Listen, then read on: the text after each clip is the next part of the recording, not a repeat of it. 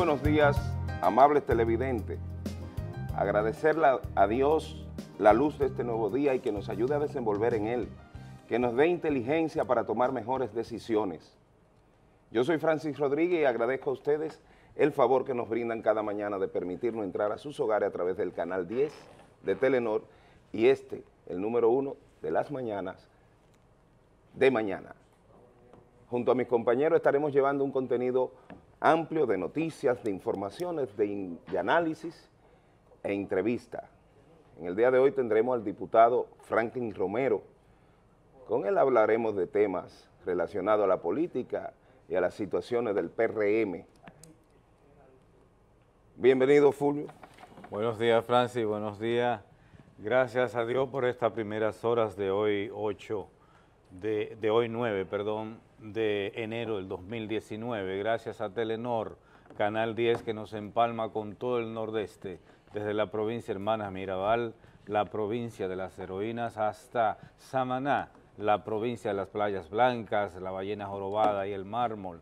También al Canal 14, que nos une a la novia del Atlántico, a la ciudad de los cruceros, Puerto Plata, al 41 con la olímpica ciudad de La Vega, al 42 con Sánchez Ramírez, la provincia de los metales preciosos, y también gracias mil a Televiaducto Canal 17, que nos empalma con la provincia de los presidentes, Espaillat.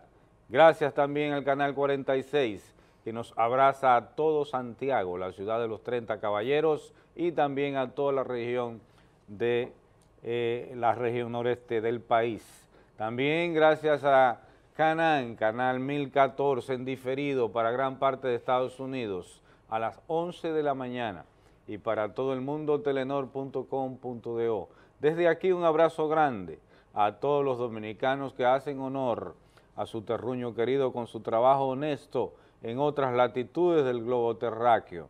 De inmediato compartir con ustedes el informe de la Oficina Nacional de Metrología, ONAMED, que nos dice que para el día de hoy las posibilidades de lluvia se reducen debido a que hay pocos campos nubosos. No obstante, el viento del este está arrastrando algunas nubes que puede ocasionar eh, algunos chubascos de corta duración en la región nordeste, sureste, cordillera central.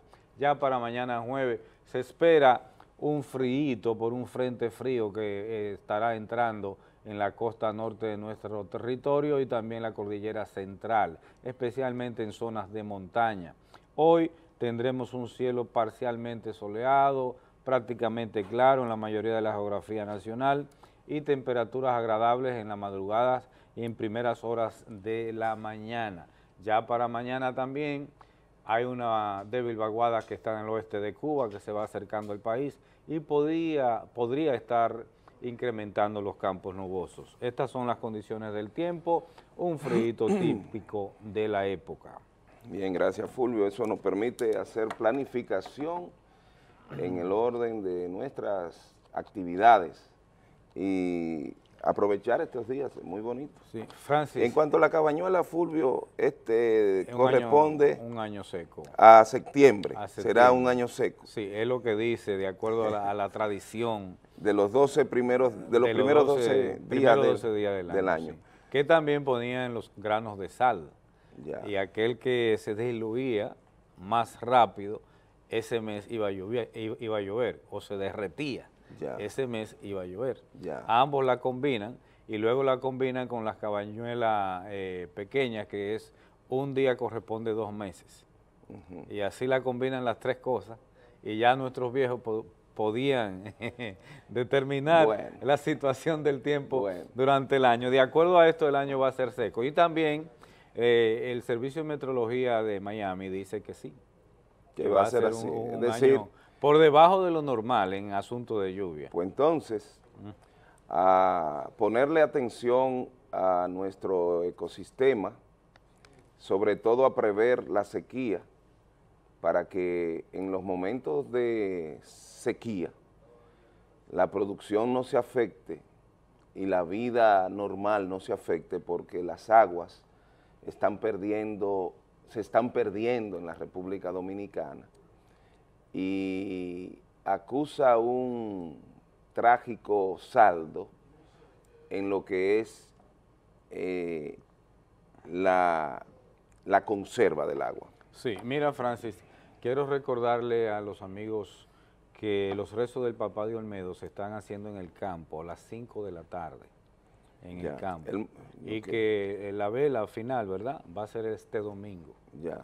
Recordarle a los amigos. Darle también eh, gracias a todos los amigos que compartimos en la provincia Hermanas Mirabal y a todos aquellos que compartimos en los diferentes puntos del nordeste donde nos dirigimos algunas veces. Así que a ellos muchísimas gracias por permitirnos compartir este contenido de mañana siempre. Eh, saludar a Leo, el amigo Leo, Carola, como cariñosamente le dicen, eh, en Villarriba, el alcalde de Villarriba, con quien conversé de temas municipales y pronto estaré por ahí saludando a la gente de Villarriba. Saludo a todos los que nos ven en esa zona. Me uno a ese, a ese saludo. Sí. Mira, tenemos como tema eh, en esta mañana, a inicio del programa, juramentación del ex dirigente del PRM en el PRD. La concepción política dominicana, Fulvio, y amables televidentes, ha debido de ser eh, fortalecida y transformada a la vez porque existen mecanismos sin darnos cuenta de deterioro o de reducir las oportunidades de alcanzar el poder en las organizaciones políticas. Nuestro país es un país concebido de forma republicana, de elección libre, y que a través de la participación activa en partidos políticos formados por ideales y principios, son los referentes que deben llevarnos a nosotros a participar activamente como militante de un partido. Esos principios, lejos de las desavenencias eh, personales, porque nosotros como seres humanos tenemos deficiencia de personalidad, de comportamiento, de aceptación, pero al parecer ni la ley de partidos que limitará o limita ya está vigente ese transfugismo. Y yo quiero decirle que me permitan leer de Wikipedia, tránfuga, es una denominación atribuida en la política a aquellos representantes que, traicionando a sus compañeros de lista o de grupo, manteniéndose estos últimos su lealtad con la formación política que lo presentó en las correspondientes elecciones o apartándose individualmente o en grupo del criterio fijado por los órganos competentes de las formaciones políticas que lo han presentado o habiendo sido expulsado de estas, que no es el caso del doctor Ángel Almanza, una figura reconocida, y que ha decidido abandonar su, estructura política, que vale decir que se forma a raíz de las desavenencias y la, y la, y la partida de Peña Gómez en el PRD, haciendo un ejercicio de reunificación con su antigua organización, supuestamente, pero sabemos todo lo que ha significado el PRD unido al PLD, una evolución de la ideología política bochista, porque Bosch dijo en el 73, cuando formó al PLD, ¿eh? Que el PLD iba a hacer todo lo que no pudo ni será el PRD y prácticamente con su estructura muy firme, mental, del profesor Juan Bosch, hace cruz y raya a esa facción que él dio origen en principio y formó al PLD. Muchos de nosotros que luchamos contra ese PRD, defendiendo a los desvalidos intentos del PLD y que le ayudamos y que le, mientras estábamos luchando eh, eh, con aquellos del frente, el PLD se nutría y hasta eso no ha sabido representar en sus luchas el PLD hoy con simplemente procurar el poder en las manos de Danilo Medina y un grupo de empresarios, porque no son políticos. Gonzalo Castillo nunca fue reconocido como un, dirigente, José Ramón Peralta mucho menos, y de ahí lo que se cuela alrededor de, esas figuras que hoy dirigen la política, con, con excepción del presidente de la República, dirigente de larga data. Pero no gozó de la atracción de Juan Bosch, ni nunca fue elegido en nada por Juan Bosch. Simplemente era un buen activo. Y yo creo que esas son de las cosas que le reclama o le rechaza de Leonel Fernández, que tuvo entonces no solamente la elección de Juan Bosch, sino la de Balaguer. Pero hoy el PRD se ha convertido en la bisagra, en la parte más interesante, donde sus ideales aún estamos por verlo en el comportamiento y eso genera en el poder el interés de transfugar de políticos, de figuras, y que realmente resultan estridentes cuando figuras que no necesitan de un cargo o de un, o de un dinerito se vayan junto con la manada tras el botín. Fulvio, ese es tu partido. Mira, Francis, se lo están, lo están, lo están desmembrando. Eh, el PRM está creciendo. Son más los que vienen que los que se van. Eso está demostrado. No obstante, todavía quedan remanentes que se van a seguir yendo. Algunos remanentes. Sabemos. Inclusive, y que lo habíamos advertido hace mucho. Inclusive, lo que pasa es que es un asunto de tiempo. En el ánimo de la reelección, del presidente Danilo Medina. ¿Cuánto daño se le ha hecho a este país? La realidad, no la reelección, escúchame, no la reelección, la forma de imponer la reelección. Existe la realidad política de que muchos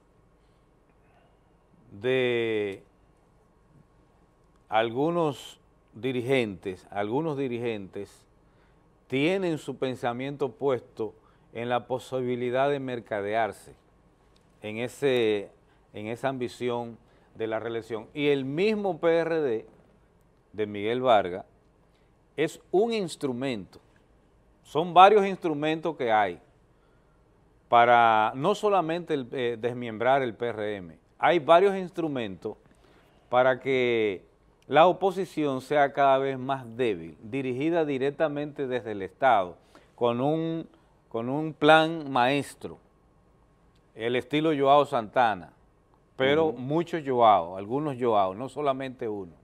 Con muestras muy Entonces, absurdas, de acciones El PRD es una de las aristas que se están usando desde el Estado para que esa oposición sea debilitada. Ahora bien, la postura de nosotros es hacia el pueblo, hacia la concientización del pueblo. Por eso estamos enmarcados en este programa de inscripción de nuevos militantes y dirigentes, que esperamos llegar para junio a 1.500.000 militantes y dirigentes a nivel nacional. Lo estamos haciendo en toda la provincia, en todos los municipios, en todos los distritos, en todas las sesiones, en todos los campos. Ese trabajo. Porque no nos vamos a Pero ¿cómo, cómo, contrarrestar? Y escúchame que te haga como una especie de entrevista. ¿Cómo contrarrestar? ¿Qué, qué haría el PRM para contrarrestar ofertas lucrativas de irse al PRD de hoy, junto al PLD de gobierno. Es que hay tentaciones. Son tentaciones porque se detienen a mirarla. Para mí no son tentaciones porque yo ni siquiera la pienso. ¿Tú me entiendes? Que es lo correcto. Entonces, son tentaciones porque se detienen a mirarla. Y hay dirigentes, hay unos pocos que lo están haciendo. Y el PLD tiene sus listas y, digo el gobierno, no el PLD, el gobierno, tiene su lista. Sí, porque el PLD no está haciendo. Tiene su lista y tiene sus, sus amarres y le tiene sus amigos y le tiene sus mandados y le tiene sus ofertas. Y los precios. y los precios por varias vías. Dios mío. Entonces, eh, no vuelvo y te repito, no solamente es al PRM, es a otras instituciones políticas democráticas que ejercen el derecho a la democracia. Ahora, cualquier persona tiene derecho a trasladarse o a cambiar de, pensamiento, de ideología, e irse a otro partido. Ahora, no es cambio de ideología, Francis, porque una ideología no se cambia de la noche a la mañana. La parte nuestra, una ideología democrática, social, de valores, no se cambia de la noche a la mañana. Se cambian, ni se cambian principios de la noche a la mañana, se cambian intereses personales, se cambian eh, proyectos personales. Ahora, en la nueva ley, en este caso, donde se hacían más transfugismo, que era en la temporada de elecciones eh, congresuales y municipales de, que se hacían y cuando el individuo no ganaba, inmediatamente decía que fueron los compañeros fulano y perencejo que no le dieron oportunidad y por eso entonces se van, se iban a otro partido y ese otro partido le ofrecía el espacio para que aspirara por los intereses que él tuviera. Ya eso no se puede. Bueno. Ya eso no se puede en la ley. No se puede, pero lo están haciendo a ah. espalda de la ley y ya hemos dicho ¿Qué puede llevar al doctor Ángel Almanzar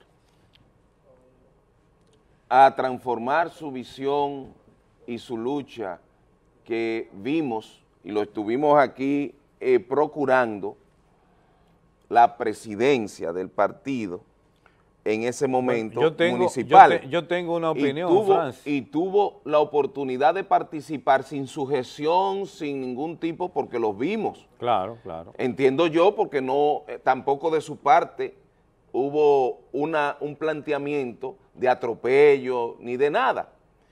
Entonces, sí sabemos y conocemos que el entorno del dirigente primario que se fue al PRD teniendo diferencias gravísimas con el propio Miguel y del litoral de Hipólito Mejía, Luis Ernesto Camilo, ha sido la miel, atracción para regresar a un PRD que solo le acompañaban su cicla, PRD, Mira, que hoy yo tengo una opinión. posiciones de poder y de mucha renta, porque los puestos que hay en esos litorales están ocupados por dirigentes y todo aquel que haya intentado o quiera irse, parece ser. Yo tengo una opinión. Pues Ángel Almanza ha tomado la decisión de irse a ese litoral y yo me gustaría saber si los ideales y principios que no vemos, porque te voy a decir una cosa, tengo que mencionar nuestro partido, mi la Fuerza Nacional Progresista es un partido pequeño, no ha presentado una gran cantidad de militancia, pero sí hemos sabido restarle a grupos que han querido engramparse en el poder, porque no enarbolan principios y no se han alejado del clientelismo y el populismo, que es lo que nos tiene sumido en estas crisis de la política y de los partidos. Sí, mira, yo tengo una opinión. En estos momentos de escasez de libertad, de democracia. y de liderazgo, porque hay un asunto escasez, estructural. Escasez también de justicia, escasez de, de seguridad ciudadana.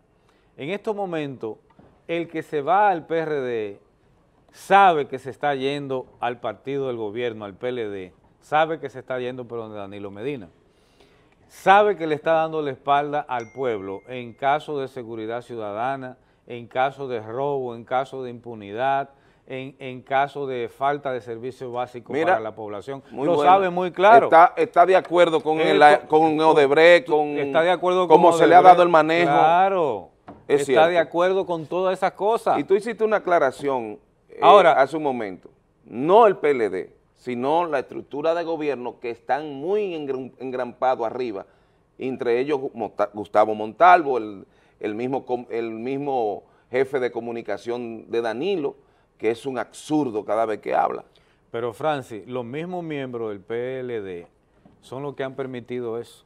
Pero ellos rechazan y están sufriendo la, abajo. Y ese comité político que tienen son ellos que lo han permitido. Entonces, en el caso del doctor Ángel Almanzar, que no tiene necesidad de eso, creo que fue por asunto de amiguismo, por su amigo. Bueno. Eso creo. Pero ha de entenderse no, Ángel no necesita que inmediatamente ni nada de eso. toma un hombre una decisión es un hombre Ángel Almanzar. de ese tipo se está poniendo de acuerdo con todo lo que está pasando A mí me gustaría saber, Fulvio, ¿qué diría la gente si se le hace esa pregunta? No sé si tenemos vamos, vamos a escuchar, vamos a escuchar para complementar estos comentarios, que son comentarios principios para que la gente entienda en contexto de lo que significa un dirigente reconocido salir de un partido a otro y sobre todo ver cuál es el comportamiento de ese otro partido, si va en la línea de, enarbolar ideales, principios y de proteger bienes nacionales, o si está en la búsqueda de ser siempre eh, quien tenga la mejor tajada. Vamos a ver el sondeo. Cosa que yo vuelvo y repito, Ángel Almanza no, es de, no, no necesita nada de eso. Pero vamos a ver el sondeo de la población que opina. Otro motivo para la gente poder decir PRD, PRM, PRD, es este elemento que tenemos aquí como síndico. Ese elemento es un solo la izquierda para el PRM, se ha hundido el PRM aquí. Ahora yo no soy, yo no soy PRMista, nunca he sido PRMista.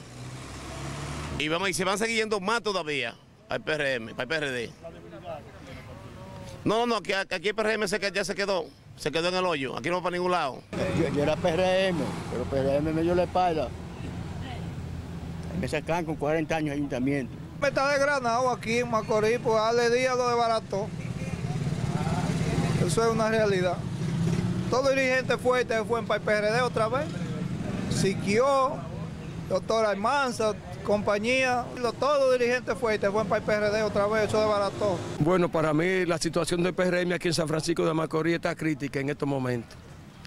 Porque la gente se está dando cuenta que se equivocó con un síndico que puso, que, pensaban que era lo correcto para él ayudar a los pobres, más sin embargo fue lo contrario. Vino a, desbaratar la clase media, la clase pobre, para ayudar a los ricos.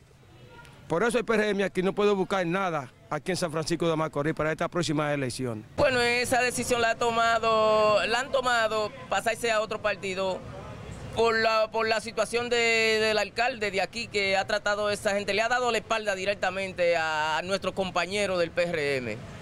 Por eso es que esos compañeros se han pasado al PRD. ¿Cómo estaba la fuerza del PRM? La fuerza del PRM está buenísima aquí, porque tú sabes que el PRM siempre está adelante y adelante aquí en San Francisco de Macorís. Se sienten decaídos. El partido ha pedido fuerza del PRM al ligarse con el PRD. A ver, tiene mucha culpa mucha culpa de eso. Porque Ale, eh, quien lo subió ahí fue PRM y Ale le ha dado las espaldas a su propio compañero. Sin duda alguna que a raíz de, de la posición de, del señor Ale Díaz como alcalde, el PRM ha perdido mucho terreno en ese aspecto. Porque tú sabes que un alcalde es un administrador de una ciudad y hay un descontento único con gente humilde que no tienen trabajo fijo, que ayer el alcalde Félix Rodríguez lo beneficiaba y hay una cuenta especial para eso, para gente humilde que no tiene con qué comprar ni siquiera una medicina, que no tiene para hacer una compra, para llevarla a su casa, para, para la mantención de su familia. Y esa cuenta ahí ha sido abolida por el nuevo alcalde, lo que ha llevado al trate el descontento de muchos simpatizantes que ayer votaron por, por Ale a través de su organización, que fue que lo llevó el, PRM, y hay un descontento total. Eso ha sido totalmente un fracaso políticamente hablando. Pero bueno, a mí me bueno, Tenemos la opinión de la gente. Pero ¿cómo es posible que sea el alcalde el culpable? Bueno, están en descontento con la gestión de él. Ya, Dios mío, a mí me llama poderosamente la atención porque se supone que es un asunto estructural de la, del partido. Pues yo creo que la, eh, nuestro amigo Alex Y Díaz no, debe de no sé qué tiene que, que ver el PRM con, con, con- con Alex Díaz, el alcalde directamente. Sí, bueno. Señores, esto es lo que nos trae la vida política local y hemos hecho un análisis, hemos planteado y esperamos el desarrollo de, y el crecimiento personal de cada ciudadano y en sus convicciones, en sus ideales. Primero, enarbolar los principios objetivos para unirnos a un- una vía de poder que pueda organizar y tener una visión de poder, pero sobre todo de Estado. Así es. Así Esto es iniciamos en De Mañana. Quédese ahí, en breve volvemos, hay más contenido en De Mañana.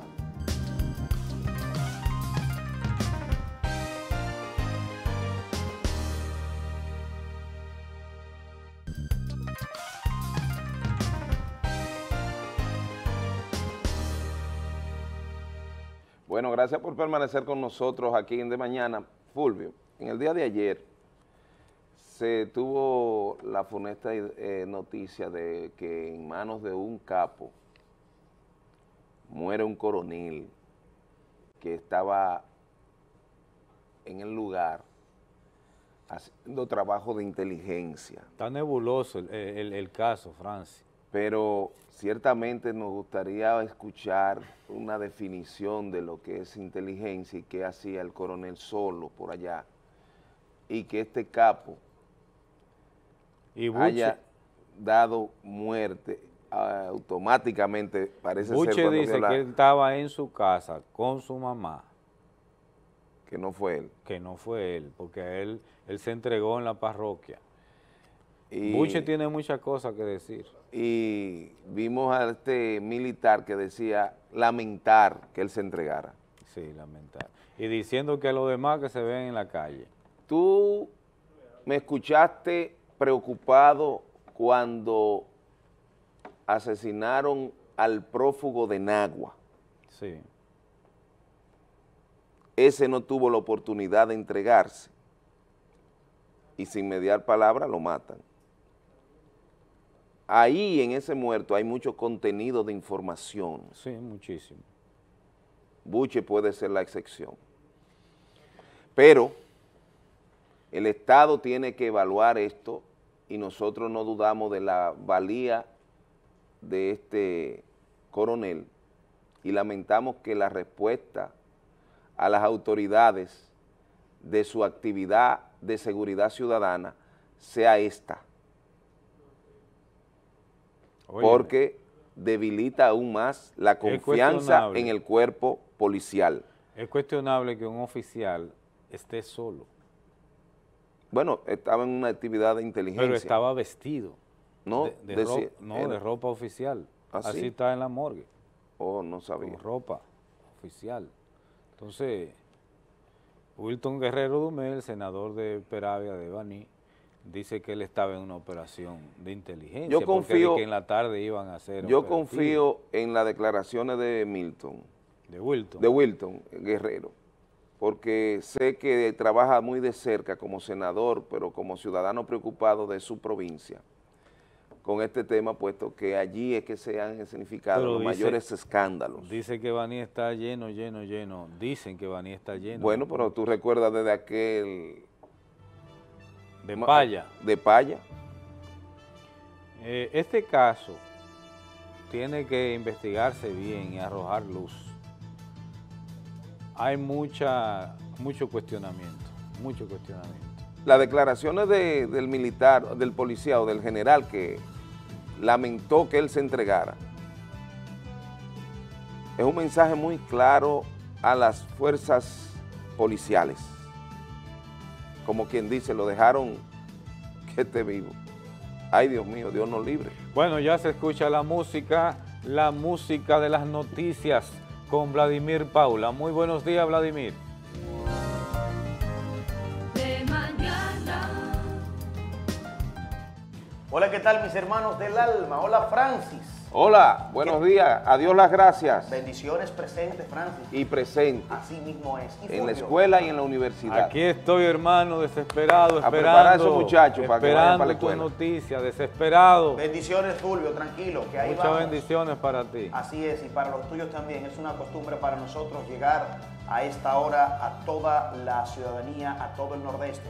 Recordarles, caramba, que a partir de las 11 de la mañana, San Francisco de Macorís prácticamente se quedará apagado. A partir de las 11, de 11 a 5 de la tarde, pues así lo ha anunciado Edenorte debido a algunos trabajos que estarán realizando en el día de hoy. Repito, prácticamente todo San Francisco de Macorís y sus sectores quedarán a la oscura, apagados, sin energía eléctrica, de 11, a- de 11 de la mañana a 5 de la tarde.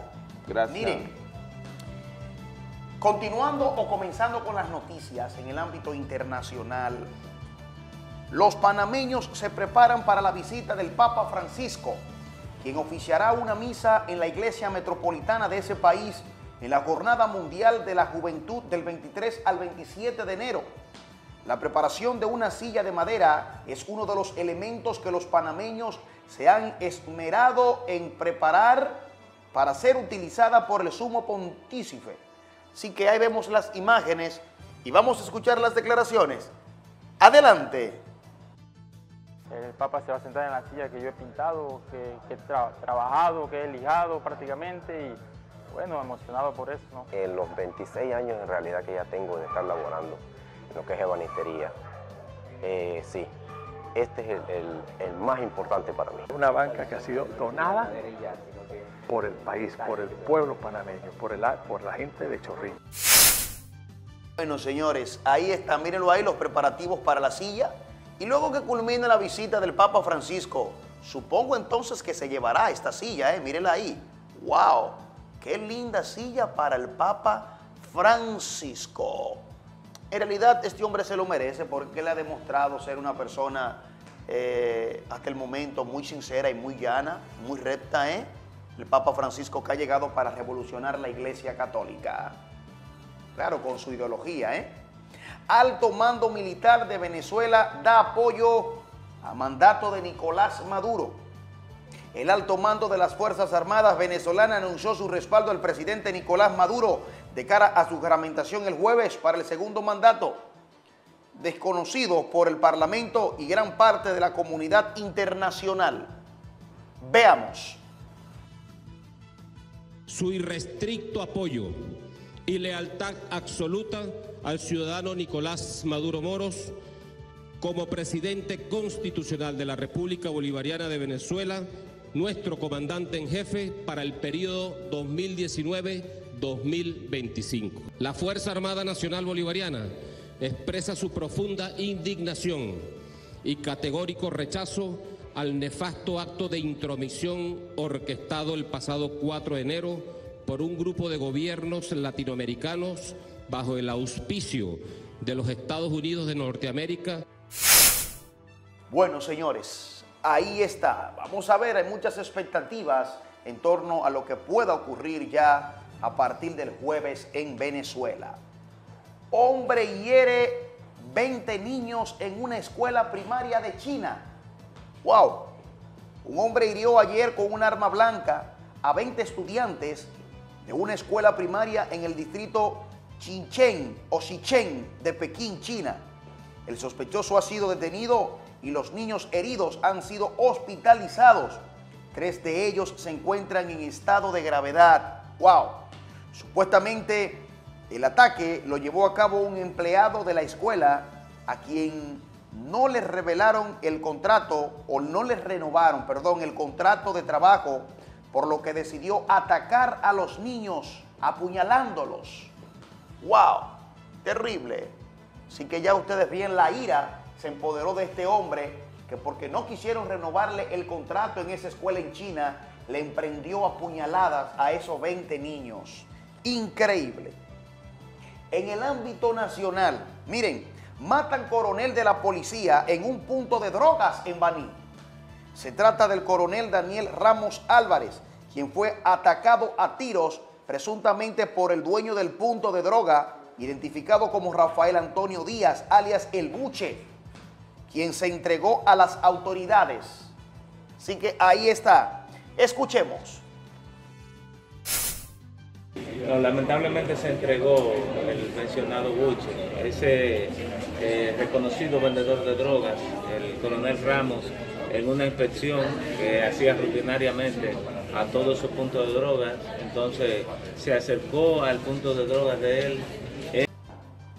En poder de la justicia este hombre, vemos las autoridades competentes, incluso veíamos por ahí el senador por la provincia, Wilton Guerrero, también se apersonó para, caramba, enterarse de lo ocurrido. Pero según la policía, lamentablemente se entregó Buche. Bueno, en el ámbito local regional, la dirección, eh, la DGC, Dirección General de Tránsito eh, Terrestre, DGC inicia el operativo de la colocación de multas por la falta de nuevos malvetes. Así que inicia aquí en San Francisco de Macorís este operativo que había sido advertido.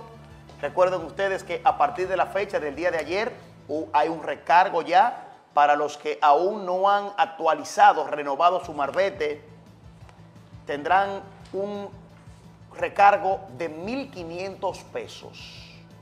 1.500 pesos es el recargo, parte de lo establecido para aquellos que no han colocado su nuevo marbete.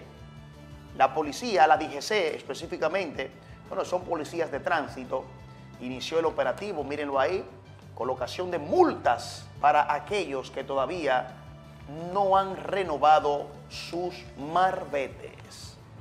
Y está, señores. Denuncian ola de atracos en el sector San Martín, aquí en San Francisco de Macorís. Miren uno de ellos que fue antes de ayer a un señor, mírenlo allá, en el círculo, se observa cuando le quitan la motocicleta a punta de pistola, disparo, él intenta tumbarlo, mírenlo ahí, el atracador, pero de todas formas se le lleva la motocicleta una CG, eso fue en el sector San Martín, en la calle Duvergé, antes de anoche. Veamos. Esto está difícil. Cuando tú te das cuenta que en cada esquina hay cámara, todo el mundo tiene cámara, y por el miedo, si tú te fijas en la casa de mi casa, que tuve que poner alambre trinchera, para evitar que se metieran a los patios, porque hasta, hasta la, la, las maticas y todo eso se la llevaron. Mira, no, si ese muchacho venía ahí y, esos tipos aparecen de repente y solamente para quitarle el motor, le dan un tiro en un pie y dichoso es que no lo mataron. A, todo momento un atraco donde quiera, en la esquina, yo, tengo esto aquí, es, con temor, que todo nerviosa, porque aquí a todo, a todo momento viven atracando. ¿Qué dicen las autoridades? Que den la mala vuelta por aquí, que nos acompañen. Que, no, que, vengan en auxilio de nosotros. ¿Qué calle es esta? Eh, esquina 9. Pero que ellos lo saben, eso no hay ni que decirlo. Porque ¿quién que no sabe la vagabundería y la ratrería y el robo que hay aquí? ¿Eh? ¿Quién, quién? Pero o sea, cada rato, a cada momento. Todo el mundo robando ahí. Y para allá por la banca de, de Leopoldo. Se le iban a meter también. Le pido que, que tomen carta en el asunto porque ya uno no puede salir ni a la calle, uno tiene temor y miedo con sus hijos y las mujeres y los negocios. Cuando el atraco, cuando te, cuando te dieron a, a, un haitiano le llevan un dedo y a, y a, mí me, me hicieron una jodienda ahí también. Que presten un poco más de atención porque estos jóvenes están acabando con la sociedad y a los padres que estén más pendientes a los hijos porque hay que supervisarlo, hay que chequearlo. Bueno, señores, así anda el sector San Martín, olas de atraco por allá. Denuncian hoyo en la acera de la calle Castillo, esquina Libertad de aquí de San Francisco de Macorís. Mírenlo ahí en la acera, casi esquina Libertad, eso es en la Castillo. Ese registro ahí se encuentra en mal estado. Y miren este señor, caramba, cómo cruza por ahí. Imagínense ustedes en horas de la noche lo que puede ocurrir, como es esa calle. Vamos a ver la denuncia formulada por ciudadanos. Adelante. Eso es un peligro. ¿Qué pasó? Que está mal hecho eso, que hay que arreglarlo. No hacen caso a las situaciones que están pasando acá. Eso lo hace, eso es cosa de Ale, que debe venir a resolver esos problemas. Como tumbaron los palos, deben venir a resolver este. Lo que quiero que tape eso, porque ahí, ahí se ha metido varias gente. Jipete y carro, pero yo, yo no estoy diciendo. Es lo que está haciendo, muchachos, que la mata. Es lo que tiene que hacer, tapar, tapar esos hoyos. Eso es lo que... Es un peligro, ahí, ahí, se, met, ahí, ahí metió una jipeta ayer, y se ha metido guagua, se ha metido carro, y hay muchando y que mata, ¿ves? Yo estoy de acuerdo que traer las autoridades y meterla ahí, a si se resuelve el problema. Mientras lo que andamos a pie, corremos un ciento de peligro. El que está en una oficina no corre peligro con eso. O sea, un llamado a las autoridades de que vengan a resolver este problema que cada día se está agravando más. Bueno, ahí está, eso es en la calle Castillo. Atención, vamos a solucionar eso. Vamos a adecuar esa parte ahí, esa vía. Hacer a calle Castillo, casi esquina Libertad, frente donde están los motoconchos. Ahí está ese hoyo. Miren, señores, INAPA afirma avería mantiene sin servicio de agua potable en Aguayo. Así lo expresó el ingeniero César Martínez. Veamos. Hemos tenido prácticamente como un promedio de dos meses que hemos tenido varias anomalías. Eh, primero fue en cuanto a los motores, se dañaba uno, se arreglaba, se dañaba el otro, después era la bomba de un equipo y así todo por el estilo. La última avería, penúltima avería fue encontrada en el embalse de la, de la presa. Esa se resolvió la semana pasada. Ahora resulta que se dio un empalme a una comunidad de los aguayos, próximo a los aguayos, y se dejó el hoyo descubierto para que se probara, pero entonces hubo un derrique que ese derrique provocó que el tubo que se había conectado se, eh, colapsara y por tanto entonces hubo que apagar el bombeo de ayer de Cenoví, de la planta vieja de Cenoví. Eh, hoy no pudimos eh, vaciar los tanques, porque si vaciábamos los tanques volvía otra vez la línea y se cargaba, entonces no podíamos eh, hacer la soldadura. Entonces lo que estamos procediendo hoy, ya como está la tubería seca, estamos procediendo hoy a hacer ese tipo de soldadura. Casualmente el ingeniero Juan Carlos hace dos horas partió para allá, con una retro pala, para ver si en el día de hoy podemos resolver esa avería. Bueno, señores, ahí está. Miren, denuncian que el diputado, un diputado, succiona el agua de un río para su finca. Esto es en Villa Tapia. La finca propiedad del diputado Isidro Rosario está ubicada en la comunidad del Tablón, en Villa Tapia. Los comunitarios de esa zona están denunciando que este utiliza, extrae el agua del río para el uso de su finca. Ahí está. Veamos. De apoyo de lo que es Isidro, quien es este hombre, y la denuncia que ha sido formulada por parte de los comunitarios en esa zona, quienes hacen un llamado a las autoridades competentes para que intervengan, porque ellos dicen que está perjudicando el río, que lo está perjudicando a ellos. El agua la extrae este hombre, la desvía y la envía para su finca. Y ellos dicen que esto está afectándole a todos por allá en el tablón de Villa Tapia. Denuncian negocio intranquiliza a los comunitarios por música alta. Eso es en Tenares. Los moradores del barrio La Inmaculada de Tenares hacen la denuncia sobre esta situación que le perturba a ellos, que le intranquiliza. Su tranquilidad valga, ¿verdad? Los comunitarios en Tenares dicen que caramba, eh, viven en zozobra por allá, no pueden dormir. Eso es en el Inmaculada de Tenares.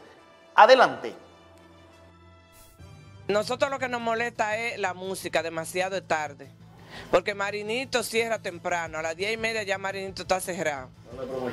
Entonces, ahora eh, eh, la casa de Mofongo, ahí es que duran hasta en la madrugadita, hasta las 4. Pero mira, a mí me afecta porque soy diabética, ¿verdad? No duermo, la pared está y divide. Y lo- ellos no a las 6, ellos amanecen. Em, A veces vienen de día y ellos no se conforman con hablar, contar con su música apagada. De día vienen a aprender la música a las 6 de la mañana y a las, 7, a las 8 todavía están ahí. que hay muchos enfermos, aquí hay gente que trabaja, hasta los niños que van para la escuela se levantan a las 9 de la, de la mañana, porque le cogen los tarde, según la música no los deja dormir. A ellos le pedimos un por favor al dueño de, de la casa de Mopongo que, que considere a los vecinos. Es un llamado a, a Casa de Mofongo, por favor, que somos hijos de, todos somos hermanos, hijos de Dios, somos toditos, que nos consideren. Pero de por Dios, la casa del Mofongo, eso es en Tenares, por allá. Ahí está la denuncia. Deben de respetar la tranquilidad de las personas, que ellos le han permitido también que su negocio prospere, que su negocio sea, caramba, muy visitado, pero deben de respetar también a los moradores en esa zona. Si en realidad están faltándole con la música alta. Así que vamos a ver. Miren, gracias. No hay tiempo para más. Recordarles a cada uno de ustedes que el agua que consumo y la que consumen todos los nordestanos, porque es la número uno, es agua Randy Land, 100% purificada con sistema Osmosis. Es tan dominicana como tú. Llámenos al teléfono que usted ve ahí en pantalla, ¿eh? Porque la número uno, con las cinco estrellas, es agua Randy Land. Exquisita. Miren usted, probar, saborear agua Randy Land es totalmente diferente. Qué bueno. No hay tiempo para más. Gracias por habernos permitido llegar hasta sus hogares. Si el Todopoderoso lo permite, estaremos aquí mañana tempranito de nuevo. Así que bendiciones para cada uno de ustedes. Francis, Fulvio, feliz resto del día, hermanos. Gracias, gracias, Gladys, por gracias, tanta información. Mira, vimos las declaraciones de, de los militares en Venezuela. Y nosotros sabemos y tenemos la información de que Maduro ha centrado la entrega de ministerios y, em- y empresas del Estado Y pozos petroleros. al poder militar. De esa única forma puede él sostenerse. Y el pueblo bien gracias. Y un grupo asalariado que lamentablemente le profesan cierta eh, fidelidad. Maduro sigue en Maduro, ¿eh? Bueno. Hugo Chávez nunca fue eso. Hugo Chávez ganó en buena ley y se ratificó en cada asamblea popular por 18 veces, Esto creo. es una ratificación de la dictadura de Maduro. Seis años más estaría exponiendo a Venezuela a una guerra civil prácticamente. Bueno. Lamentablemente. Por otra parte, Francis, eh, matan un coronel en Baní. Esto ha sido la noticia Bueno. de todo el día de ayer. Eso rompió todos los tweets en las redes. ¿Cómo matan un coronel en un punto de droga en Baní? Él solo, oficial, estaba haciendo una investigación de inteligencia, dicen, ¿verdad? Supuestamente, haciendo una investigación de inteligencia en diferentes puntos. Entonces, en este punto de este señor Rafael Antonio Díaz, alias Buche, que es un deportado por droga, dice uno de los voceros de la policía, reconocido narcotraficante. Y qué lamentable que se haya entregado, dice. Ya ustedes saben todo lo, lo que esto significa. Y mira, Y están buscando a todos los que trabajaban con él. eh, es lo correcto. Que se busque todo el que trabajaba ahí. Sí, pero ¿de qué manera? Pero debieran ellos, por el bien de la sociedad, entregarse y no que lo acribillen. Porque lo que se requiere es desmontar cualquier situación o red que en torno a este individuo, que empantalonado, mírenlo como, como habla, y reconoce que él es un delincuente, que él trabaja en eso. Pero que estaba en la, en la casa de su mamá, con su mamá, Entonces, y que no es estaba en el punto de droga. Esto es peligroso. Eh, hay muchas conjeturas en ese caso que en el día de hoy se espera que se puedan esclarecer. Ya vimos también las declaraciones del senador de Peravia, de Baní, Sí. Wilton Guerrero Dumé, que como siempre Mira. ha estado de línea dura frente a eso. No sé cómo de línea dura porque Baní está lleno, lleno de puntos de droga, la información que hay, como están casi todos los pueblos. Eh, Pero es un caso lamentable. Las declaraciones del Lo propio... mejor que hacen esa gente eh, que trabajaban para Buche es que se entreguen. Las declaraciones de del delincuente este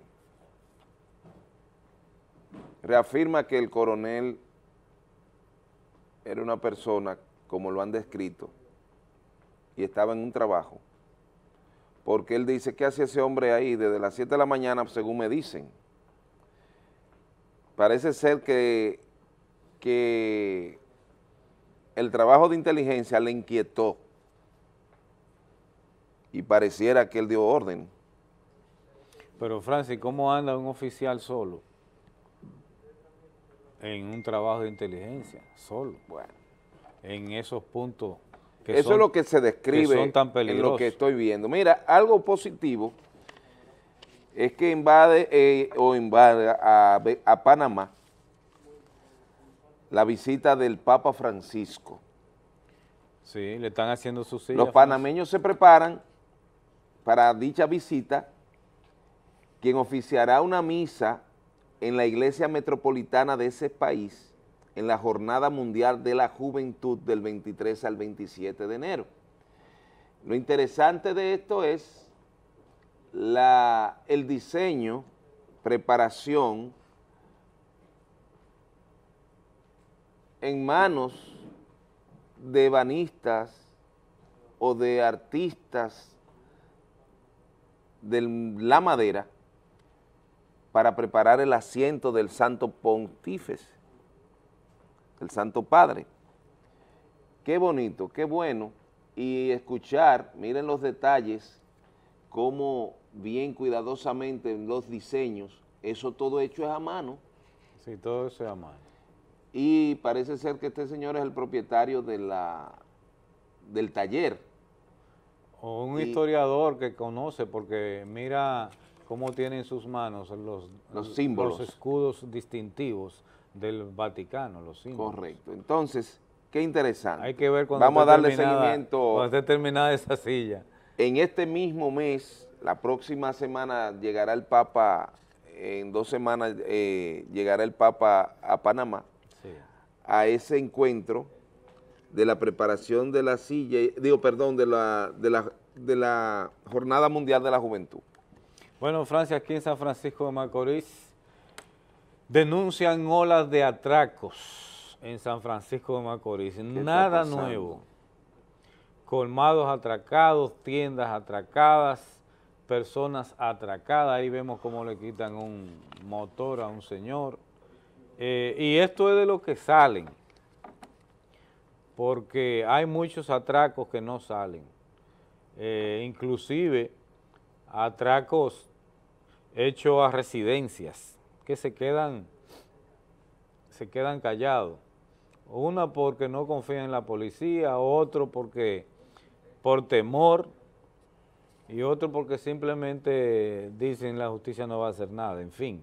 Pero es una ola de atraco que se está significando en San Francisco de Macorís que parece ser que sobrepasa los niveles normales porque ha llamado la atención el barrio San Martín especialmente, todos esos sectores eh, de esa parte sur de San Francisco de Macorís eh, han estado afectados en los últimos días. Atención, director de la policía, con asiento en el nordeste. Horizon Olivense, Horizon nuestro amigo, y Olivense. sé que es un buen, un gran trabajador Hay y una es ola un de policía fuera de lo normal de en San Francisco trato. Macorís. Sí. Está hablando muy mal de su gestión. Todos estos atracos que se están significando. Atención, la ciudadanía requiere mayores protecciones. Mira, Fulvio, advertirle a los amables televidentes, a los ciudadanos que transitan por las calles de San Francisco y del país, que a esta fecha traten, no me gustaría ver ningún enfrentamiento entre ciudadanos y DGC. No se pongan bravos si lo paran, porque es una obligación el tributar para tener derecho a transitar en un vehículo de motor que no solo tenga su seguro al día, sino también su licencia, pero su malvete es el que le asegura la oportunidad de transitar libremente sin tropiezo. Ya que pasó el plazo y no hay ningún tipo de reposición de plazo, usted está en, eh, caemos en la falta y no nos podemos poner bravos, ni pelear, ni entrarle a trompar a un policía, ni la policía tiene que hacer otra cosa, simplemente hacer su trabajo. Es mi, mi Claro, orientación claro. y solicitud a la sociedad de que tenga sensatez y que sepa que a partir de ahora, como mecanismo de presión, el Estado tiene la DGC para poder alcanzar esos objetivos. ¿Por qué? Porque ya pasó el tema de lo que era la fecha. Mira qué está pasando, Francis. Eh, muchos compran sus eh, vehículos en agencias y pagan todo en agencia, pero la agencia no paga las tributaciones de la placa. Entonces aparece una oposición de entrega de marbete en las oficinas a ese vehículo, porque la agencia no han cumplido. Vaya a Proconsumidor, haga la denuncia a, de esa agencia que aprovecha y retrasa el pago de esas placas en la cual usted no tiene el control, pero sí tiene el usufructo, el uso del vehículo que usted ha comprado y ha pagado fielmente su vehículo. ¿Y tú sacaste tu marbete, Francis? Yo lo saqué. Ah. Yo lo saqué. Eh, INAPA Mira, afirma sí. Que Avería mantiene sin servicio a la comunidad de Aguayo, al distrito municipal de Aguayo. Hay una avería que tiene sin servicio de agua potable a la comunidad de Aguayo. Eso está fuerte. Sí. Primero había una avería en la misma presa, luego ahora dicen que fue que en Aguayo tuvieron que cerrar la válvula de la bomba vieja de Cenoví para poder secar ese sector ahí y ahí entonces poder hacer la, el empalme, la soldadura necesaria en esa acometida que hay ahí. Fíjate, eso es fuerte, eso es hondo, Francis. Pero Hubo un des- de- derrumbe, eh, un deslizamiento de tierra que tapó todo otra vez. Tuvieron que ir supuestamente con una máquina, con una retropala y secarlo con una bombita como ustedes están viendo ahí para hacer, esos son los niples de empalme que van atornillados y soldados. ¿Y por qué está tan dentro de una, de una propiedad? Las tuberías se diseñan, lo- los, cruces del acueducto, se diseñan en, en- en- en condiciones do- donde sea lo más favorable. No importa por dónde pase, Francis. Pues miren, en razón de esto, estamos pasando por una eh, crisis eh, ambiental. En el mundo se está registrando los efectos del calentamiento global, el efecto ni- del niño o de la niña, Ahora el Y- efecto niño. niño, y ya se advierte, como decía Fulvio al inicio del programa, un tanto de sequía y este año será un tanto seco. Nosotros tenemos la mitad del territorio nacional por debajo de los niveles de humedad que deben de estar para estos tiempos. Bueno, pues miren, la denuncia hecha por la comunidad de que el diputado al Congreso, Isidro Rosario. Isidro, Isidro Rosario, en Villa Tapia, extrae del río agua para regar su finca, no obstante tener canal o regadío. Un río pequeño que prácticamente Eh, lo seca cuando le mete una bomba de 6 Eh, pulgadas. En este tenor, es una infamia de parte del diputado y una irresponsabilidad de parte del diputado Isidro Rosario en Villa Tapia, cuando no mide el efecto que produce el uso y disfrute de un área que debe ser protegida. El poder, lo económico, no puede nivelarlo ni, ni- ni dejarlo de, de hacer razonar en esa Y que es un río pequeño. acción Francis. incorrecta, porque es un diputado que debe preservar los recursos naturales o usarlo de manera racional con el debido trato, ya que usted es terrateniente, tiene producción y vemos que es una extensión muy importante, es importante la alimentación, pero sin agua los seres humanos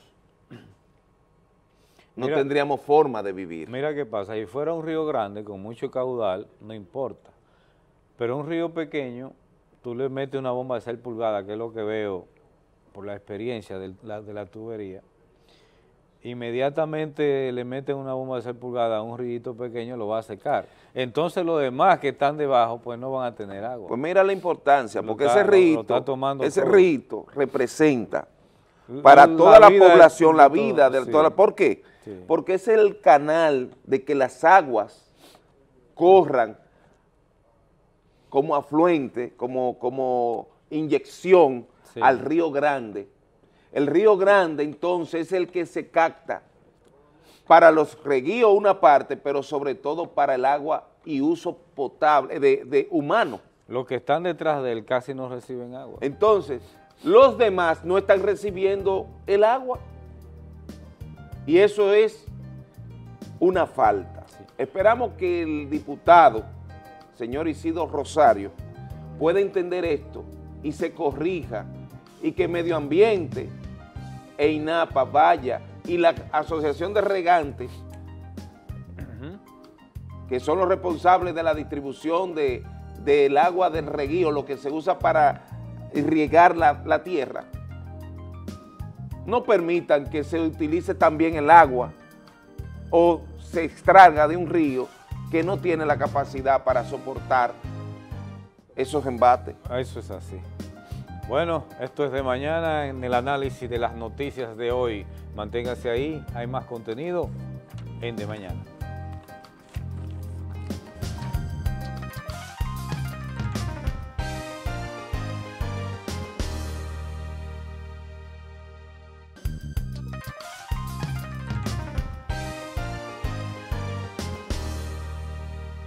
Gracias por continuar con nosotros aquí en De Mañana y de inmediato darle la bienvenida a nuestra compañera Raquel Ortega. Muy buenos, Buenos días, días, Raquel. Fulvio. Buenos días, Francis. ¿Qué tal? ¿Todo Muy bien? colorida, Raquel. Tiene la ropa de pelea, de batalla, de Ah, seguir, Sí, seguir. seguir trabajando. Así Gracias es. a Dios. Qué bueno, enhorabuena. 2019 de Mucho trabajo. prosperidad para todos Así es, que así sea. y de soluciones. Claro, Porque como lo que necesitamos es que nos permitan desarrollarnos. Así es. No Con hayan toda la Y que salir para a la calle no signifique un temor, porque la autoridad está haciendo su trabajo y la sociedad se está transformando y dejando esos viejos hábitos. Es decir, que el delincuente tradicional reflexione y se, y se vaya a- a- y se transforme, que busque de Dios, que busque el quehacer de un trabajo para que así sea honrado y que reduzcamos la tensión en la ciudad y, que tengamos oportunidades con igualdad y respeto mutuo para una sociedad más eh, propositiva y de desarrollo, Raquel. Así es. Buenos días a ustedes, amables televidentes. Gracias por continuar con nosotros en esta segunda hora de contenido en De Mañana. A los que nos ven a través de la magia de la internet, www.telenor.com.do, un abrazo bien grande. Yo les recuerdo a ustedes, a las damas, a las chicas elegantes, que quieren andar bien puesta, bien regia, en cada ocasión, pues vistan de Adasa Elements. Adasa Elements se encuentra ubicado en la calle 27 de febrero, casi esquina Salcedo. Tenemos servicio a domicilio, nos pueden llamar, contactar o mandar un WhatsApp al 809-841-9955 en Santo Domingo, 809-952-2120. Así es que estamos ahí y nos puedes conseguir también en las redes sociales, en Instagram y en Facebook. Nos encuentra como Adasa Elements y encontrarás muchísimas opciones para andar bien regia, bien puesta. Como siempre te digo, vista como yo, vista de Adasa Elements.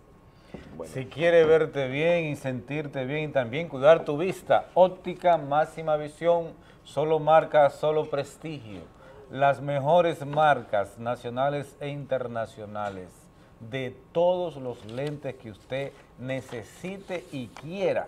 También atenciones especiales de profesionales nacionales e internacionales, exquisitas atenciones. Usted va a tener ahí análisis de la vista gratis, monturas de todos los colores que se acomodan a su contorno facial para verse bien, para cuidar su vista. Usted tendrá la opción de elegir verse elegante a la vez que cuide su vista. Óptica Máxima Visión en la calle Castillo, esquina La Cruz, en el teléfono 809-588-7675. Óptica Máxima Visión, solo marcas, solo prestigio. Supermercado Almanza le sigue recordando que ya no tiene que salir de la Guarana para encontrar lo que busca en un supermercado, porque todo lo encuentra en Supermercado Almanza, un supermercado repleto y por departamento. Y en esta ocasión en Navidad y ahora tiene usted la oportunidad de ganar miles de pesos de premio, televisores, fines de semana, crucero y ayudar al ecosistema y al medio ambiente con la campaña Ecobolsa. Reduzcamos el uso de fundas plásticas. Supermercado Almanzar en La Guarana. Bueno, nos tenemos que ir a una breve pausa, no sin antes recordarle que la entrevista de hoy en el Café Caliente conversamos con el diputado Franklin Romero, presidente además del Partido Revolucionario Moderno. Hablamos de lo que está, el temblor, ¿de cuánto grado fue? Del partido que está sacando gente, que se está llevando gente del PRM. Hablamos de esto y otros temas importantes. Quédese con nosotros.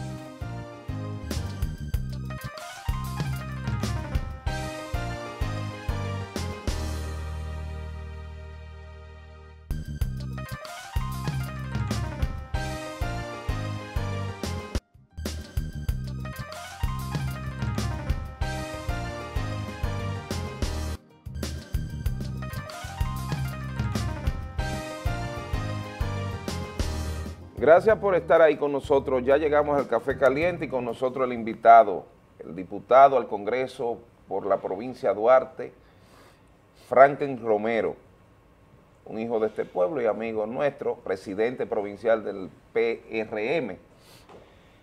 Y con él vamos a conversar de estos temas políticos, un año preelectoral, una serie de temas y la situación que se está dando y que hoy tuvimos un sondeo en la población y las opiniones del pueblo respecto a la salida de dirigente Ángel Almanza y otros dirigentes que dicen que se van.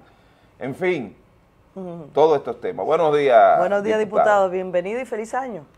Muy buenos días, Raquel, Fulvio, Francis, amigo mío de siempre. Feliz año a ustedes y a toda la población de San Francisco de Macorís y a todos los que nos ven en el mundo, porque ya este canal se ve en el mundo entero. Este es el número uno.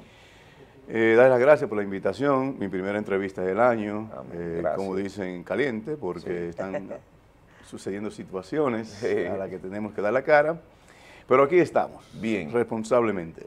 Diputado, ¿es una tendencia eh, que se vayan algunos dirigentes del PRM?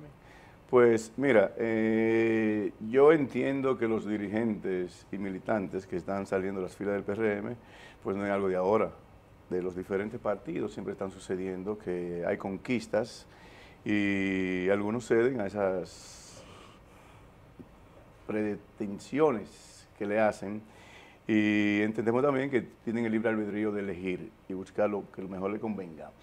Entendemos nosotros que los dirigentes que se han mencionado, que se van, son dirigentes a carta cabal, eh, ellos como persona moral, eh, son personas buenos dirigentes, que para mí siempre van a ser buenos dirigentes, porque si estuvieron antes y para mí lo eran, seguirán siendo buenos dirigentes, aparte de que son amigos. Nunca lo voy a juzgar por una decisión que tomen eh, y ellos sabrán por qué lo hacen. Sí, hay algunos que solamente puedo decir que uno responsablemente es el único que se ha dirigido a mí como presidente provincial, que es el doctor Almanza, el que goza de mi respeto, y a través de una carta me presentó la renuncia al partido. Es el único que realmente formalmente yo puedo decir que se ha presentado ante mí con esa renuncia, la cual yo remití al partido en Santo Domingo inmediatamente, y la compañera Berenice Payano de Las Guaranas, donde todos sabemos que hay una situación, y sí hay situaciones por las que se están yendo algunos, que las conocemos nosotros, y que también el pueblo la conoce. Diputado, ¿y le preocupa esto al Partido Revolucionario Moderno toda vez de que este año es un año especial, sobre todo eh, decisivo para elegir los candidatos que van a participar de las elecciones del 20? Entonces, ¿le preocupa esta salida? O, o como estaba aquí el vicepresidente del partido en el día de ayer, el señor Lizardo, como que no mostró ninguna preocupación, como lo vio muy normal. Bueno, Cuando debiéramos buscar más integrantes, no dejarlo ahí, ¿verdad? Eh, para mí sí es preocupante porque recordemos que los votos es con que se gana. Y se gana que tiene más de uno. Cuando se te va uno, tú estás ya perdiendo. Correcto. Ahora nosotros ya como partido tenemos la suerte de que muchas personas se han integrado al partido, muchas, a través del PREMIL 2, que es la captación de nuevos militantes para nuestro partido, y muchas personas. Y las encuestas que se hacen al respecto en, todo, en toda la provincia, eh, pues sitúan al PRM en una posición muy, muy buena. Es preocupante porque, como te dije, son dirigentes que dieron todo por este partido, eh, hicieron un partido ganador y lamentablemente por situaciones internas están renunciando al partido, como lo hicieron también de- del otro partido, que renunciamos todos y vinimos a este partido, fue el PRD, eh, sin decir que es un mal partido. Entonces nosotros entendemos que sí es preocupante, pero nosotros seguiremos trabajando. Eh, sé que seguirán algunos otros, sé que vendrán otros y nosotros seguiremos trabajando porque somos realmente la primera opción después del gobierno para ir al poder. Diputado, una cosa. La crisis política eh, o la crisis de los partidos se refleja en el descontento de la población, al punto de que se debe tomar en cuenta una población apática y distante que no representa el 50 más, que representa más del 50. Ahora, en estos tiempos, parece que han decrecido los partidos. Eh, no es que los partidos han decrecido. Ahora mismo tenemos más de 30 partidos que van a las elecciones del 20. Eh, aunque tenemos cuatro, tres o cuatro partidos punteros y dos con opciones de poder. El PRD justamente en este momento no es una opción de poder, porque apenas llegó a un 5% en el año 16.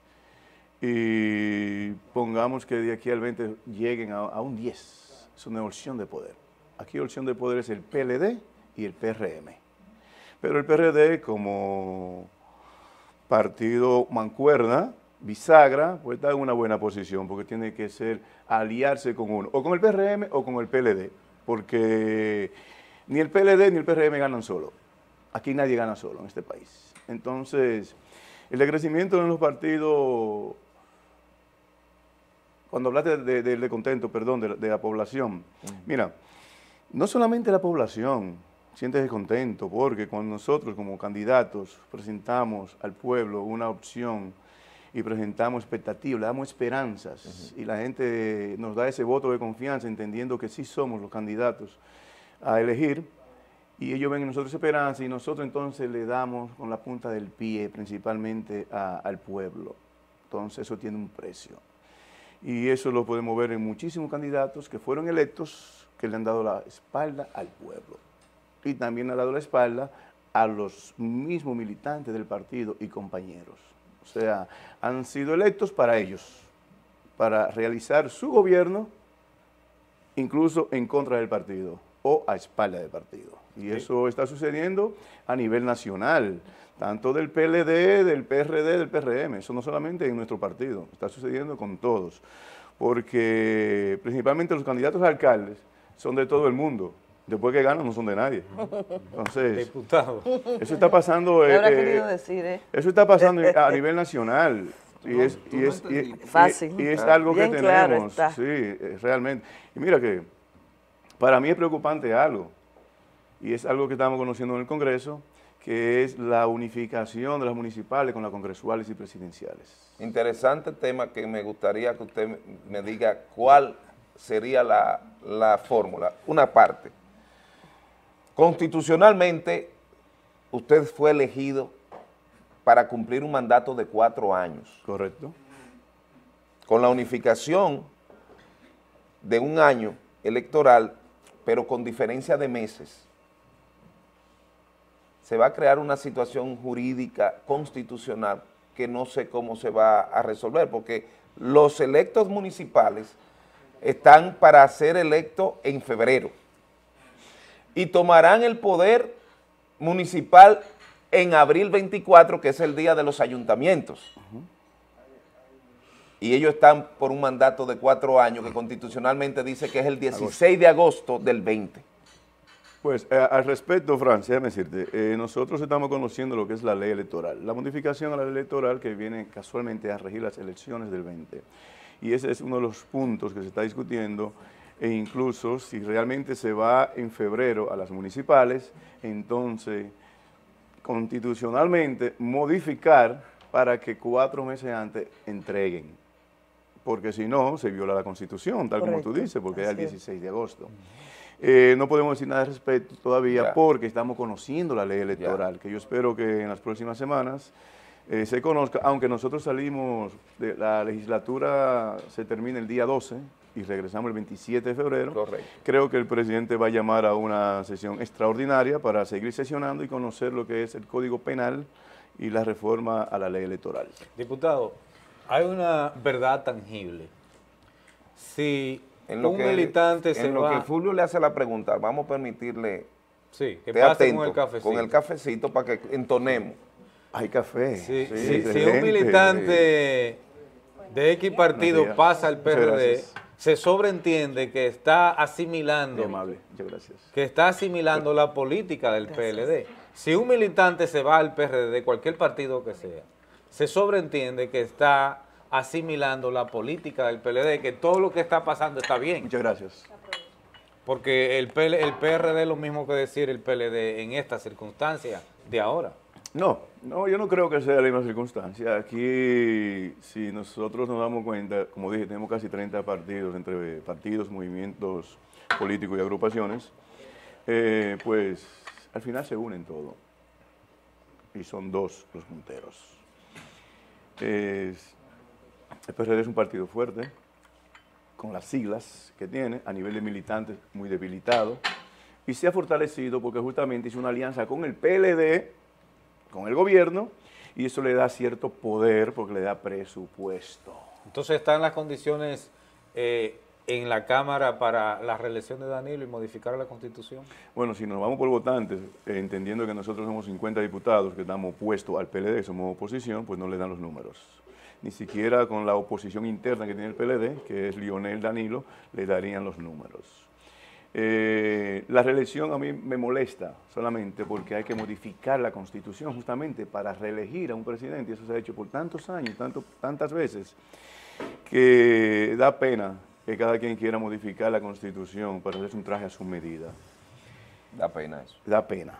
Cuando deberíamos modificarla por muchísimos otros aspectos que eh, vendrían en pro de la ciudadanía.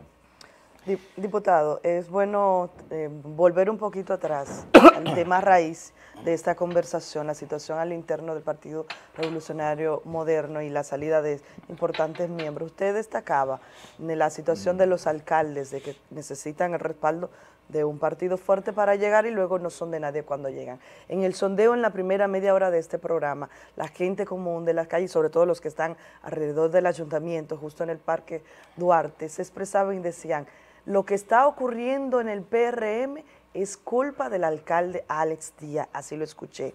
Él es el que ha destruido el partido, así lo dice. ¿Qué opinión le merece a usted? Mire, joven, yo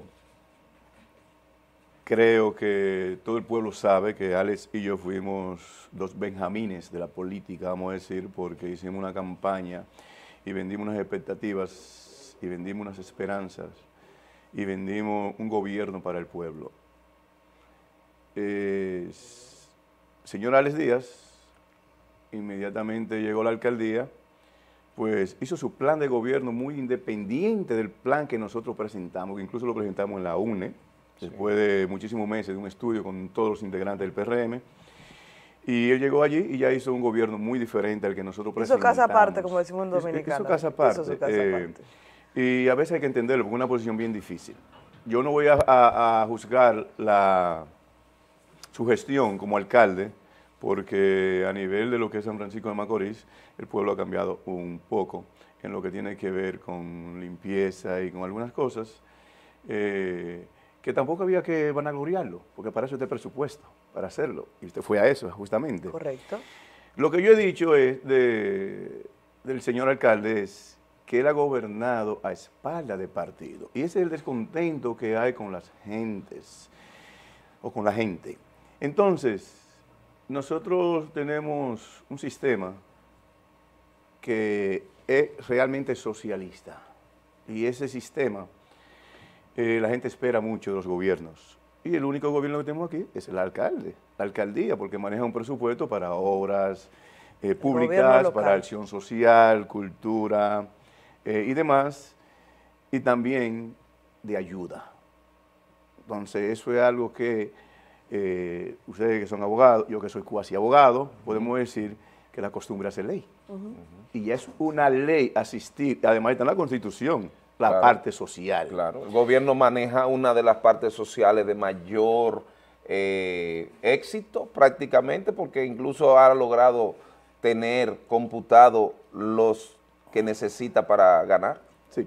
Porque Entonces- son asalariados con una tarjeta, pero eso no es malo. No, no es malo, no es malo, porque lo que tenemos que darle, la educación que tenemos que darle a, a- a la gente, al pueblo, es que cuando estamos recibiendo algo del gobierno, ya dígase del alcalde, del ejecutivo, de cualquier ministerio, no es que está- no están dando nada, es algo que nosotros pagamos por adelantado a través de los impuestos y a través de las donaciones que recibe también el, el Estado para asistir al pueblo. Que el presupuesto no se maneja tal cual uno quisiera, no, no se maneja tal cual uno quisiera. Pero sí que la gente entienda que no está pidiendo ni exigiendo ni que le están regalando nada. Eso es algo que para lo que nosotros fuimos elegidos. Nosotros como diputados, primero, para hacer las leyes que se cumplan por el Poder Ejecutivo, eh, para fiscalizar justamente ese presupuesto del que estamos hablando y para representar al pueblo. Como no pueden ir 50 mil personas a hablar por ello, bueno, elijan a nosotros como diputados y nosotros los, los representamos. Mire una cosa, ¿no será, y, y usted qué piensa, que, ese, que esa queja de que le ha dado la espalda al partido, pensando que tiene el gobierno municipal, no estaría creándose una situación de crisis donde el partido tiene que entender que los ayuntamientos tienen un tamaño, porque no hay, no hay cama para tanta gente. Así es, eh, también tenemos que entender eso. Eh, no hay cama para tanta gente, pero el trato, ya, el maltrato, el ignorar a las personas, el darle la espalda. O sea, nosotros tenemos personas acá. Recordemos, señores, que nosotros como partido, dí- dígase PRD, PRM, tenemos 16 años fuera del poder. Y aquí hay gente que gastaron su última chancletita detrás de nosotros, para que nosotros le ponemos una patada después que lleguemos al gobierno. Y no estoy hablando específica- específicamente del caso de Macorís, estoy hablando a nivel nacional. Y ha podemos pasado decir lo mismo. En Santo Domingo, podemos decir lo mismo. Podemos decir en sitios cerca de aquí, en las Guaranas. Podemos decirlo también en Cenoví. Alcalde nuestro, que nosotros que conquistamos, que ganamos el poder, el pueblo nos dio esa opción y le hemos dado la espalda al pueblo.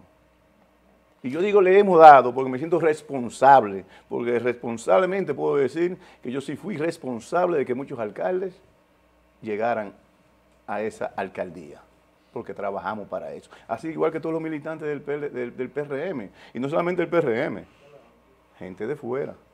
Sí. Diputado, en su cargo como presidente provincial del PRM, ¿qué está haciendo el PRM eh, para embarcarse a lo que es el objetivo del 2020? Pues mira, nosotros como partido que por primera vez eh, tenemos ya presupuesto, porque desde que el partido se formó no tenía presupuesto, hasta el 16 que ganamos ya, que fuimos la segunda opción. Eh, ahora tenemos presupuesto y lo que está haciendo el presidente Paliza es organizando el partido en cada provincia a través de locales, porque todos los partidos aquí violan la constitución. ¿Qué cosa? ¿Qué cosa? No, no, no nos escapamos. Aquí los candidatos violan la constitución, los electos violamos la constitución, los presidentes, aquí todo el mundo viola la constitución, sin embargo juramos en una Biblia que vamos a respetar la constitución. Más sin embargo, la constitución es clara y precisa re- respecto a los partidos que tienen que tener un local por lo menos en cada ca- municipio cabecera. Y no hablo de mi partido, estoy hablando de todos los partidos. Vi en Puerto Plata recibiendo, que recibiendo dinero. Y vamos a estar claros, los partidos aquí reciben, aquí hay cuatro partidos que reciben 600 millones de pesos anual. De tu dinero, de mi dinero, del dinero del pueblo. Y dice que debe de tener un local. Y dice que debe tener un local. Entonces, la Junta Central Electoral, que es el órgano Pero yo regulador, que soy chiquito y no recibo nada como Fuerza Nacional Progresista, tengo que estar tranquilo porque nosotros no podemos tener un partido, un, un- un Un local abierto, Si el, si el PLD No, no, no, tiene. ustedes tienen que tener un local abierto como partido, ¿entiendes? Pero, Oportunidad para pero lo que hace es que lo mal es lo que se imita. Sí. Si pongamos un ejemplo ahora mismo, Fulvio, aquí hay gente que quiere ser presidente de la República. Sí. Tienen proyecto de nación. Proyecto de nación. Sí. Y toditos tienen vallas. Sí. Vallas, violando la constitución y violando por- la ley. por la ley de Violando la ley, una ley que duró 18 años dando vueltas, que por fin la, la- la aprobamos, la ley de partidos. Y saben lo que quieren ser presidentes Ay, Dios mío. con vallas y Sí. otro candidato también. Diputado, pero esa ley establece sanciones, ¿por qué no sanciones aplicarla? justamente porque el Pero no la regulador, que es la Junta Central Electoral, esperando el reglamento, porque es otra cosa que tenemos que ver, eh, Raquel.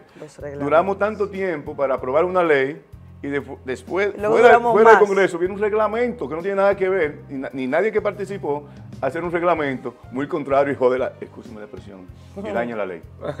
y daña la ley. Entonces, si un candidato presidencial, vamos a decir, no vamos a poner los pequeños, quiere ser presidente y empieza violando la ley, entonces, ¿qué confianza le puede generar a la ciudadanía? Así es. Bueno, diputado, lamentablemente se nos acaba el Ah, tiempo. no, pero yo pensé que estábamos Sí. empezando. Bueno.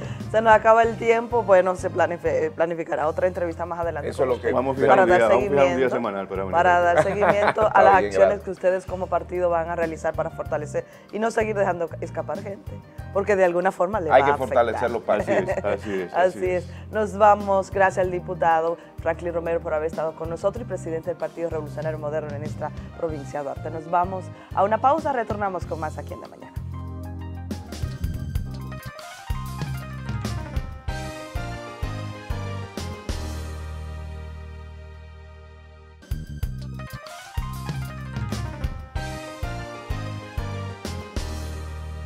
Gracias por permanecer con nosotros acá en De Mañana. Bueno, excusamos a Francis que tiene otro compromiso también de trabajo y tuvo que retirarse. Eh, continuamos con el contenido del programa y a continuación eh, le toca el tema central a nuestro hermano Fulvio Ureña.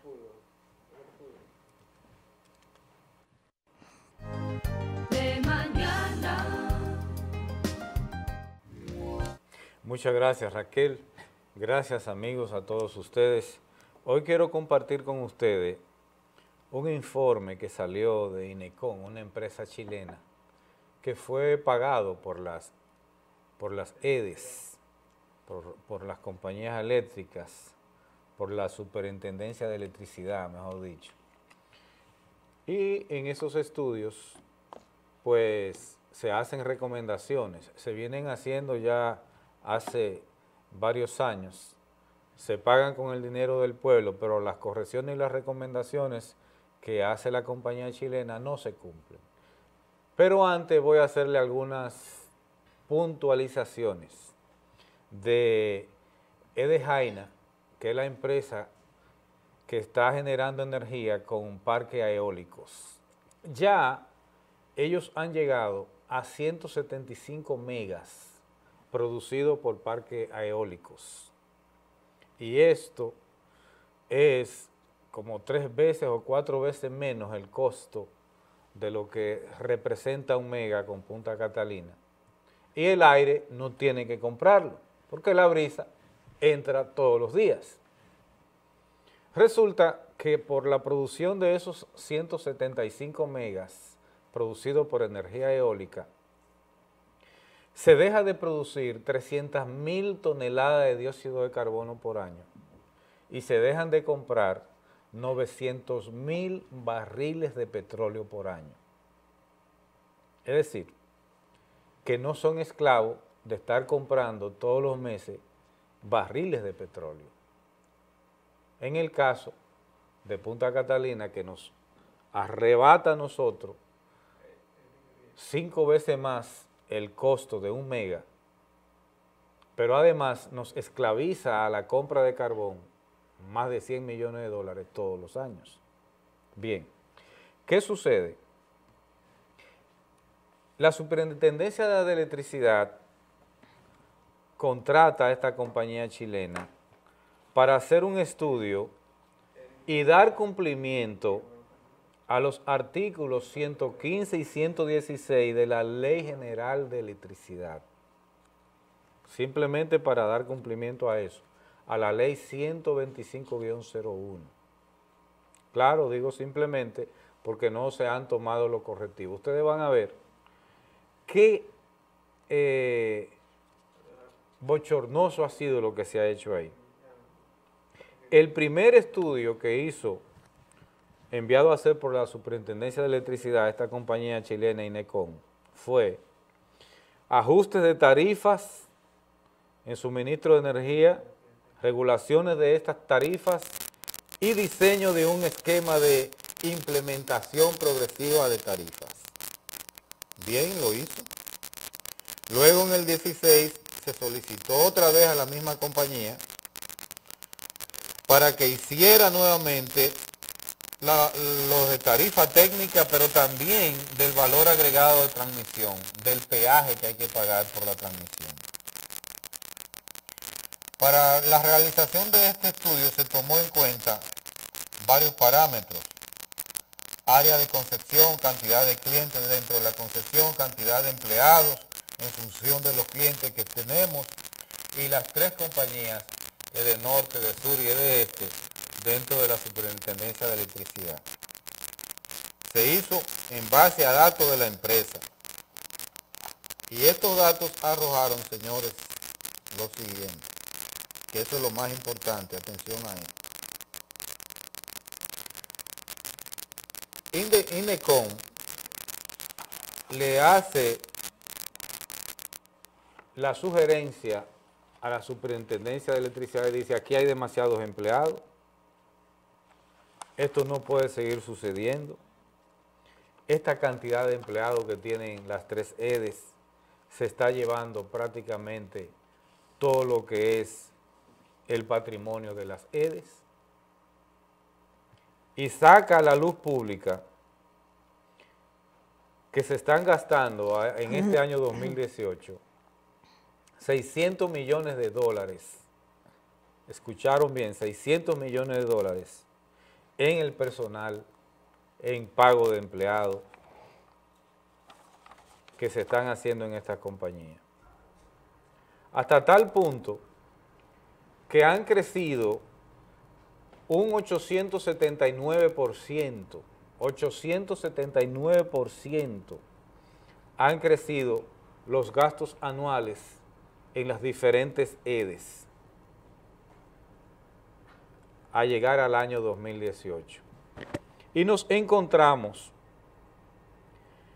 que las recomendaciones de ello es que con 1.800, que con 8.000, las recomendaciones que, que nos encontramos es que con 1.817 empleados, las tres EDE trabajarían bien y funcionarían a la perfección, estarían a, la vanguardia, comparado con las mismas empresas que hay en Argentina, en Chile, en Colombia, en México, en diferentes puntos del mundo, que con 1.817 empleados se resuelve el problema de la necesidad de empleomanía en las EDES. ¿Cuántos empleados nosotros teníamos en el 17 en las EDES?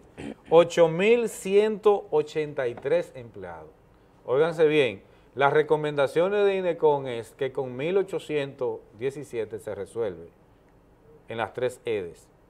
Y teníamos en el 17 8.183 empleados. Vuelven y contratan a la compañía y la compañía entonces vuelve y hace la ratificación de las recomendaciones que hay que reducir esa cantidad de empleados. Y para el 18 entonces lo aumentaron en 209. Y hoy nosotros tenemos 8.392 empleados en las tres EDES. Y solamente son necesarios 1.817 empleados. Esto trae como consecuencia que desde el 2005 al 2017 se hayan usado de más, de más, 6 mil millones de dólares para pagar botellas. ¿Me escucharon bien? Desde el 2005 al 2017, de acuerdo a este estudio, se han usado de más 6 mil millones de dólares, justo la mitad de lo que ha gastado las EDE en mantenimiento, en redes y, y otros asuntos. Con esos 6 mil millones de dólares que se han gastado de más en botella, porque el PLD ha usado a la Superintendencia de Electricidad y a las EDES para poner ahí a todas las personas que busca de otros partidos y a las personas de su mismo partido que quieren y necesitan tener un salario por encima de los 100 mil pesos, porque así son los salarios ahí. Y con esos 6 mil millones de dólares que se han gastado de más, aquí se pudo haber hecho diferentes plantas que generarían más de 3 mil kilos, más de 3 mil megas, perdón, más de 3 mil megas, y el problema estaría solucionado de la energía eléctrica en República Dominicana, con lo que se ha gastado de más. Y eso es solamente un ejemplo de uno de las direcciones, uno de los ministerios, solamente un ejemplo. Y todo lo que ha gastado las EDES hasta la fecha, 2018, 22 mil millones de dólares. Y no tenemos ningún problema resuelto todavía del asunto eléctrico. Tenemos el sistema energético todavía con una pérdida de 31%, una pérdida de 31%, de 31% en el sistema energético nacional. Tenemos todavía un déficit de energía, de suplir energía. 22 mil millones de dólares gastados. Y hay que incluir ahí los 400 millones de dólares de un préstamo para las EDES, de 600 millones de dólares de China para las EDES, ya va a mil millones, de 708 millones que hay que pagarle a Odebrecht por la, eh, en el Tribunal Internacional, en fin, más de 80 mil millones de pesos más. Es solamente un ejemplo de corrupción, de clientelismo, de politiquería llevada a un ministerio. Sirve de alcancía, sirve para politiquería, para llevar presidentes, pero también sirve para hundir más al país. Y tiene una carga de botellas que le ha significado a este país más de 6 mil millones de dólares que bien podrían haber servido para solucionar el mismo problema que hoy tenemos en la generación de energía. ¿Y qué hacemos? Bueno, prácticamente nada. Prácticamente nada. Si usted le suma los últimos préstamos a los 17 mil millones de dólares, sube casi a 20 mil millones de dólares. Y si le pone los últimos del año 18, sube a 22 mil millones de dólares. Y no tenemos el problema resuelto. Por tener ahí arriba chupasangre, vampiros, gentes que no piensan en el pueblo, que no piensan en la nación. Esos son los que le tiran ese fecales a la bandera. Esos son los antinacionalistas. Esos son los antipatriotas que se visten de impunidad y se visten de pulcritud en, un, en una doble eh, expresión de la, de la persona, creyéndose impoluto, sin embargo, por un lado, derrumbando la patria, para tener cada vez un país más sometido y más pobre, con una población hipotecada a 50 años. A 50 años estamos hipotecados. porque todo lo que se ha empleado ahí ha sido préstamo. Y esos 6 mil millones de dólares que se pagaron de más por clientelismo, por politiquería en botellas, fueron tomados prestados. Y esos 6 mil millones de dólares tienen que pagarse. Y cuando usted, met, cuando usted suma y multiplica y hace las consideraciones de 6 mil millones de dólares a los intereses internacionales a 20 años, usted lo pone a 5, 20 años ya es un 100% en los intereses, porque 5 por, por 20, eh, 5 por 2, que son los 20 años, ya, ya es 100, ya es 10, ya es 100. Entonces ahí, cuando usted multiplica 20 años por 5, son 100. Y esos 6 mil millones de dólares se van a 12 mil millones de dólares. Y todo lo que se ha invertido en las EDES, sin solución, corresponde prácticamente al presupuesto del año actual, del 19. Prácticamente mil billones, de, un billón de, de, de, pesos dominicanos, un billón de pesos dominicanos. Porque casi es, eh, estamos hablando, señores, que cuando usted multiplica 20 mil millones de dólares en la tasa del 5%, en la tasa del 50 por 1 que está el dólar, usted entonces llega a un billón de pesos dominicanos, más que el presupuesto de este año gastado ahí, a costa del pueblo, a costa de hipotecar nuestras generaciones, nuestros hijos, nuestros nietos, el país completo durante 50 años.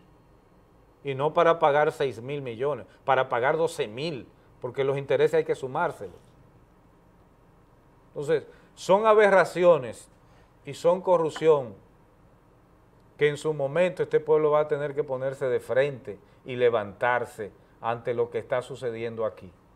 Porque aquí está sucediendo una irresponsabilidad tal que no importa que los organismos internacionales nos llamen ladrones miles de veces, no nos inmuta. No importa que salgamos en todos los foros internacionales y nacionales, en todos los estudios, como uno de los países más corruptos del mundo, que debiéramos darnos, debiéramos darnos vergüenza, empezando por el mismo presidente, debiera de darle vergüenza a los funcionarios, debiera darle vergüenza, a los legisladores debiera darle vergüenza. Sin embargo, ni sin multa. Mientras tanto, seguimos sufriendo las consecuencias. Muchas gracias, Fulvio. Gracias, como siempre, por tus interesantes temas. Nos vamos, señores, por hoy. Se nos acabó el tiempo. Retornamos mañana, si Dios quiere, con otra entrega de su programa de mañana. Buenos días.